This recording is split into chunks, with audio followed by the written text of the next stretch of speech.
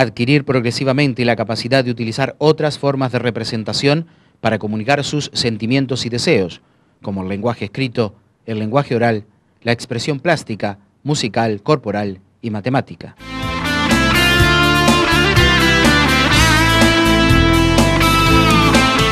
En educación es necesario crear un clima favorable para que haya distintas formas de comunicación, de representación y de expresión.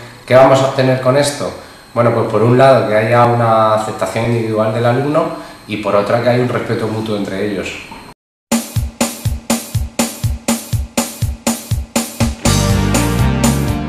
En estas edades, en educación infantil, es necesario que los docentes debamos de proporcionar a nuestros alumnos pues, medios y recursos donde ellos puedan desarrollar sus posibilidades expresivas.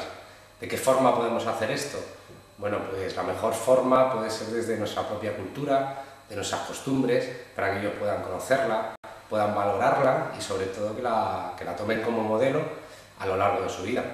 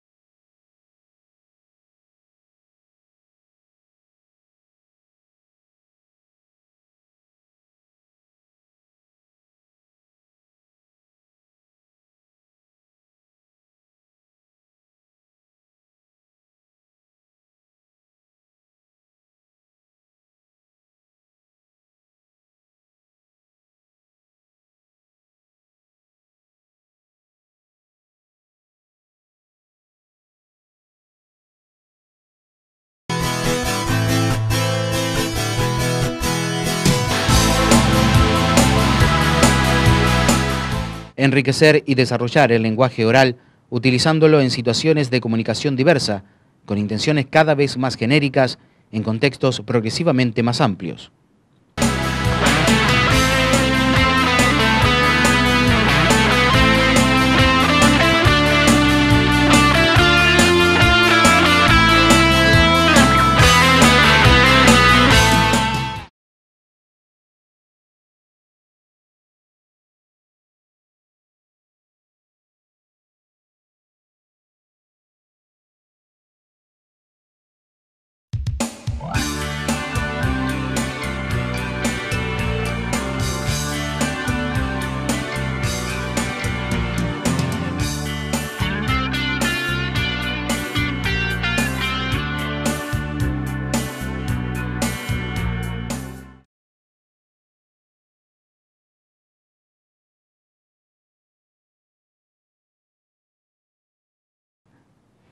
Observar y explorar, experimentar y respetar el entorno más cercano, estableciendo diferencias con otros entornos, así como la interpretación de algunos fenómenos característicos del mismo.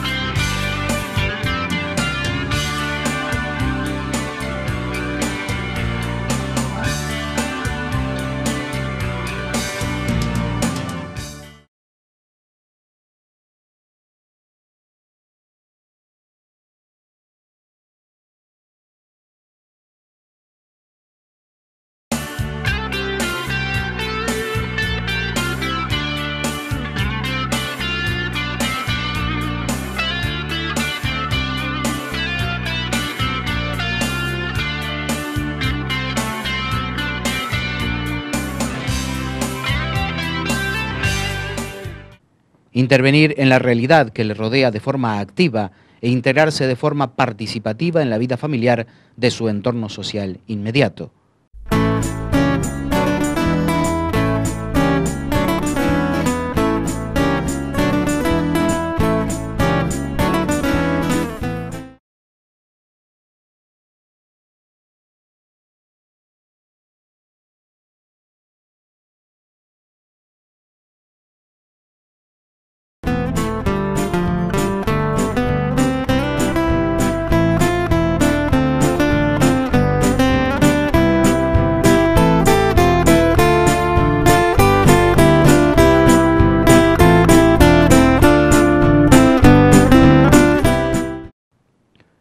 Participar, conocer y diferenciar algunas manifestaciones culturales y artísticas de nuestro marco territorial y fomentar una actitud de interés y aprecio hacia la cultura andaluza y establecer diferencias con otras del ámbito estatal.